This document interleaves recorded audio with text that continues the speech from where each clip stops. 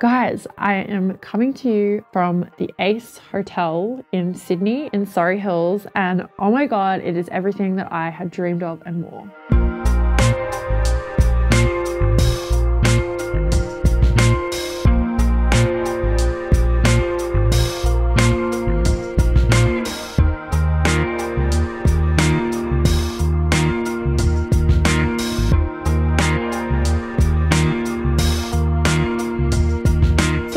Backstory I have wanted to stay here for a very long time. The Ace Hotel is like a chain of hotels that's very arty and design forward, looks amazing, it's just super, super cool. Their socials are awesome. And I have been following them for a long time and really, really wanted to stay here. So, a few months ago, I reached out to them on Instagram and asked if there was somebody that I could email in regards to doing some kind of collaboration with them or like content creation in exchange for a room.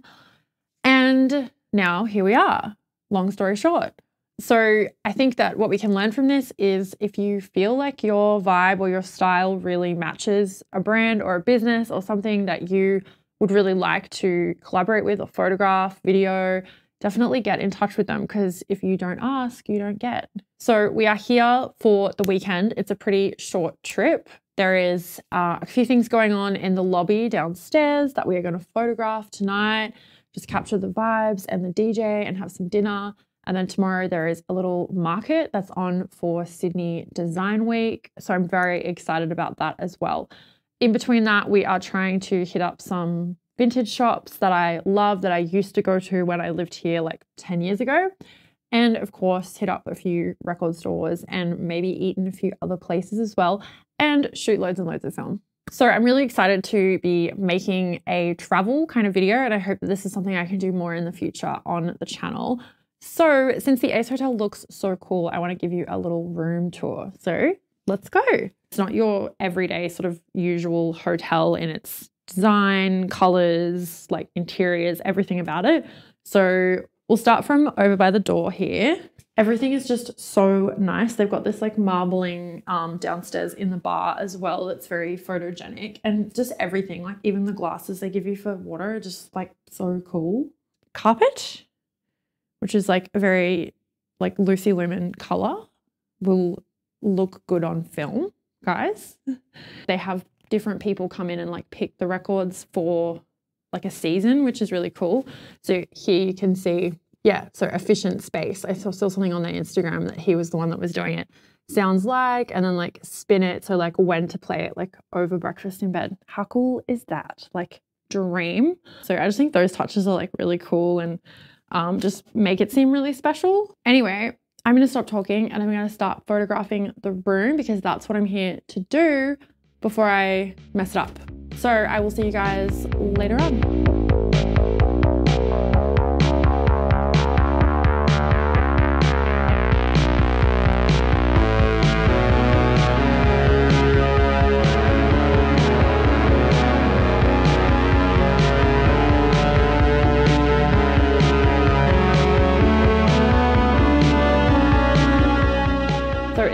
Saturday morning, and I'm not gonna lie, I'm a little bit hungover, a little bit tired, but I had a really great night.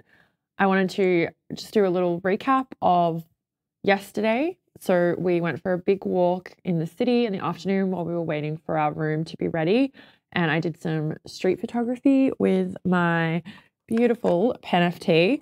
Not sure if it's really the right camera to be doing street photography with, but it's really handy knowing you have so many shots. And yeah, I'm excited to see the photos because I don't normally do that. But since I've been traveling for work and I've been in cities, I have been interested to try street photography when I'm in these more kind of like urban settings.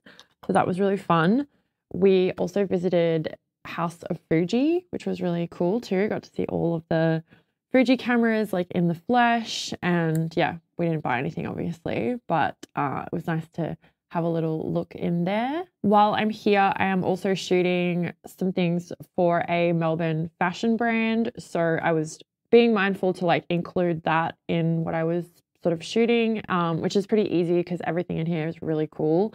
There's a photo booth downstairs as well, um, which is unfortunately out of order today, which is such a bummer because it wasn't yesterday, but I thought I'll wait till today. Lesson learned. If you see something, just do it or capture it. But next time, I'm sure. So last night there was a DJ. They have like a resident DJ each month at the Ace, and it turned out to be a friend of mine from Melbourne.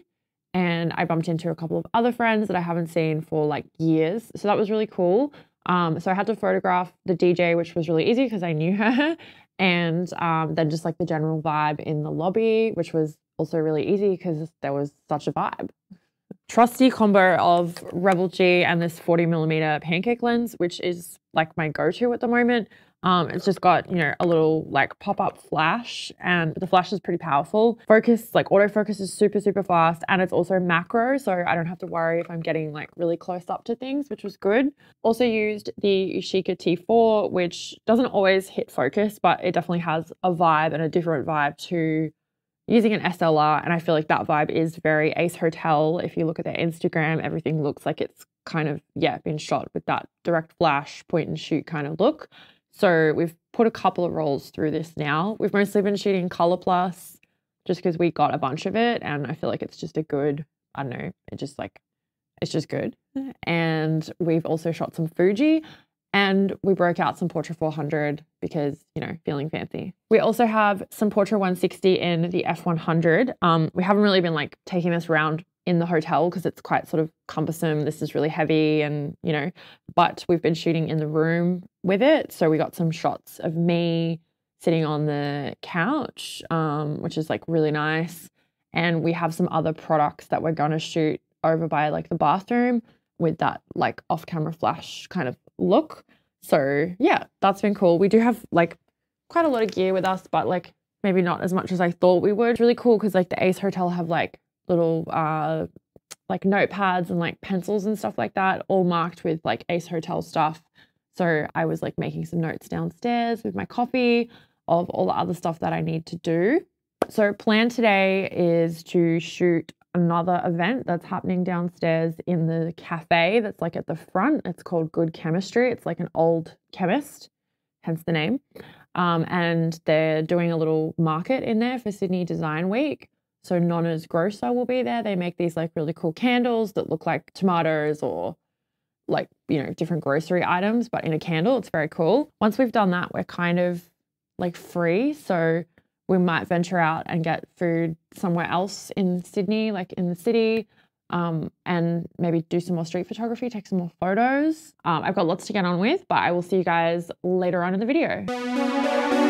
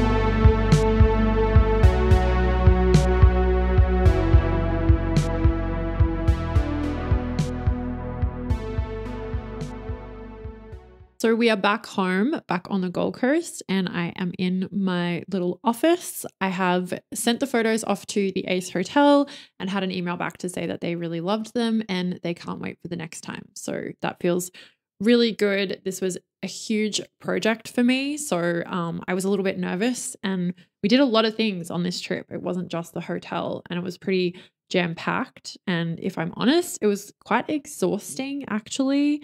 Um, I think I had glamorized the idea of it a little bit. So I think in the future, I would like to do more hotel or travel kind of work, especially for the channel, because I feel like it's really interesting.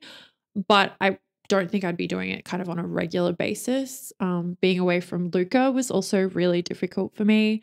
Um, by the second day, I really missed him. So, yeah, it's interesting to do something and try something out and then figure out if it's actually what you want to do. And I feel like that's what I'm doing all the time. Almost every week, I do something new and I always learn from it, even if it's, you know, that I know that I don't want to be doing it anymore. There are two takeaways from this trip. One of them is I think that I really like street photography, and that's something that I wasn't really expecting, but I really enjoyed the kind of in between periods where we were walking around on the street. Um, and, you know, I had my Pen FT, which probably isn't really the best camera to be doing street photography, but I was really happy with a lot of the street shots that I got. And I think I want to try more street photography on the channel and do a video about that maybe.